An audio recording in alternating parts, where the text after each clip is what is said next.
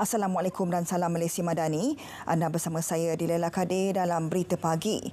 Yang di-Pertuan Agong Al-Sultan Abdullah Riayatuddin Al-Mustafa Billah Shah dan Raja Permaisuri Agong Tunku Azizah Aminah Maimunah Iskandariah malam tadi berkenan berangkat ke Majlis Makan Malam Amal Bulan Sabit Merah Malaysia BSMM ia sempena ulang tahun BSMM ke-75. Al-Sultan Abdullah turut melancarkan koleksi stem peringatan 75 tahun BSMM. Menurut pengerusi kebangsaan BSMM, Tunku Puteri Intan Safinas Almarhum Sultan Abdul Halim Muazzam Shah, BSMM melancarkan rayuannya untuk membantu Bulan Sabit Merah Palestin sebagai sokongan kemanusiaan. We are presently making arrangements to transfer 20 200,000 ringgit to the Palestinian Red Crescent. These contributions are made possible by the generosity of you, the Malaysian public, and the support of the government. We are witnessing the disregard for international humanitarian law, the Geneva Conventions, and the rules and conduct of war, and urge you all to continue to support our efforts. Beliau juga berkata BSMM telah berjaya mengumpul sumbangan sebanyak 1.9 juta ringgit daripada entiti korporat untuk pelbagai inisiatif kemanusiaan. Turut hadir pada majlis itu Isteri Perdana Menteri Datuk Seri Dr. Wan Azizah Wan Ismail, Menteri Pendidikan Fadlina Sidik serta Menteri Belia dan Sukan Hana Yuh. Pesawat kargo 9M WCA yang membawa bantuan kemanusiaan awal peringkat pertama sumbangan ke Palestin menerusi Ops Ihsan telah selamat mendarat di lapangan terbang tentera Al-Arish, Mesir. Pesawat yang disewa khas itu berlepas dari lapangan terbang antarabangsa Kuala Lumpur dan tiba kira-kira pukul 8.50 pagi Sabtu waktu tempatan. Menteri Luar Datuk Seri Dr. Zamri Abdul Kadir berkata, sekiranya tiada apa-apa halangan, semua barangan bantuan dari Malaysia itu akan sampai kepada rakyat Palestin di Gaza dengan segera. Bantuan berupa 20 tan barangan perubatan, barangan bayi dan makanan itu telah diserahkan kepada Wakil Persatuan Bulan Sabit Merah Mesir untuk dibawa masuk ke Gaza melalui lintasan sepadan Rafah. Difahamkan sebaik bantuan ini melepasi sempadan Rafah yang akan diserahkan kepada Persatuan Bulan Sabit Merah Palestin di sempadan Nizana untuk diagihkan. Penerbangan penghantaran kedua sebanyak 20 tan barangan bantuan dijadualkan pada 10 November.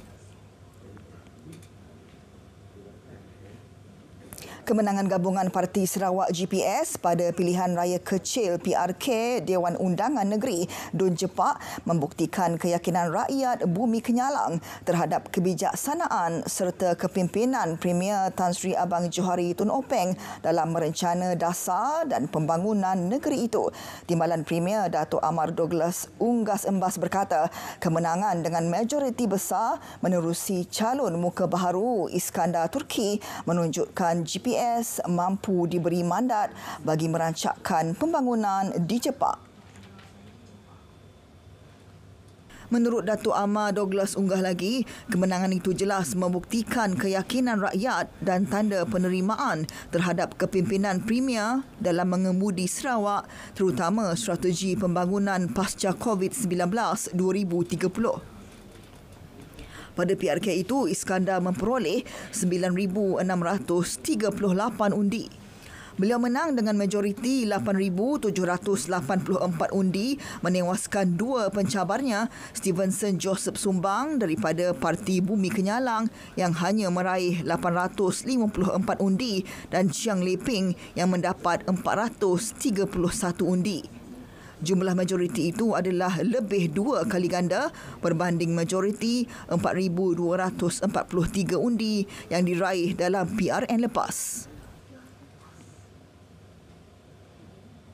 Pertelingkahan dalam kalangan masyarakat sejak akhir-akhir ini dikuatiri bakal menimbulkan permasalahan serta menjurus kepada pertelingkahan fizikal.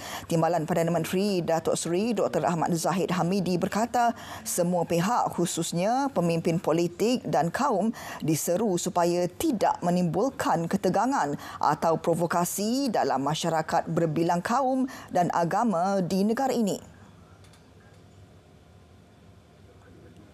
Dan kita harap kesedaran ini ditimbulkan daripada sekarang. Biarpun kita mempunyai kementerian perpaduan, kita jangan harapkan hanya kementerian ini saja yang menjalankan peranannya. Tetapi rakyat keseluruhannya mesti mempunyai kesedaran, terutamanya pemimpin-pemimpin politik dan pemimpin-pemimpin kaum di negara kita. Tambah beliau, langkah membendung masalah pertelingkahan itu perlu diambil bagi mengatasi perbezaan pendapat daripada terus berlaku. Beliau terdahulu menghadiri Majlis Santunan Kasih di Pabali di Bagan Datuk. Program Jalan Rahmah PJR secara terus kepada golongan B40 di 33 lokasi. Projek perumahan rakyat PPR dan perumahan awam akan dilancarkan bermula bulan depan. Pihak Kementerian Perdagangan Dalam Negeri dan Kos Sara Hidup KPDN Kuala Lumpur akan bekerjasama dengan dua pasaraya yang mempunyai rangkaian kedai runcit di lokasi sasaran untuk mengadakan jualan rahmah di premis tersebut. Jadi orang di lokasi tersebut tak perlu berjalan jauh-jauh pergi, dia pergi je ke bawah premis yang di bawah flat dia ke apa, dia boleh beli dengan harga yang telah didiskonkan oleh kerajaan sebanyak 30%. Enam barang keperluan asas utama akan dijual dengan harga diskaun antaranya ayam, beras, minyak masak, telur ayam, bihun dan sardin.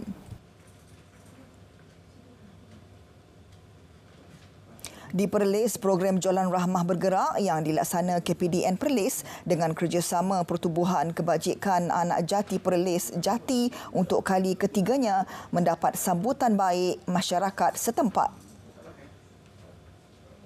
Program diadakan di dataran kampung warna-warni Kuala Perlis bersempena program gotong royong Perdana Jati. Lebih 400 penduduk khususnya di kawasan Kuala Perlis tidak melepaskan peluang mendapat barangan keperluan pada harga murah. Sehingga kini lebih 140 program Jualan Rahmah dilaksanakan KPDN di seluruh Perlis dengan 80 daripadanya melibatkan Jualan Rahmah bergerak yang memberi manfaat kepada lebih 150,000 pengguna dengan nilai jualan mencecah hampir 2.5 juta ringgit.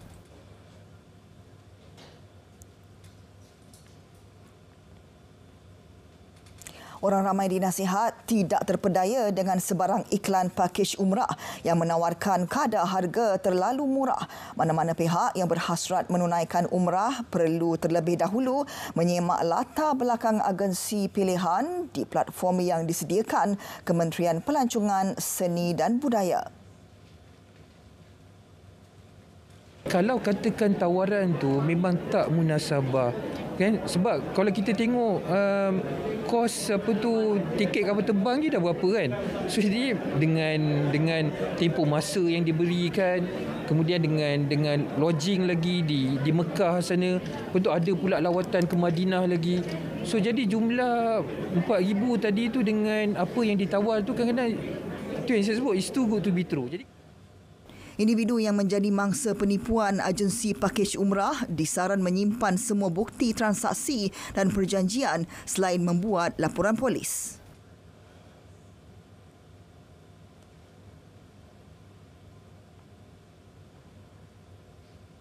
Baiklah saudara, teruskan sokongan dan bantuan untuk rakyat Palestin dari sungai hingga segara Palestin pasti merdeka. Berita pagi diteruskan dengan edisi Sabah.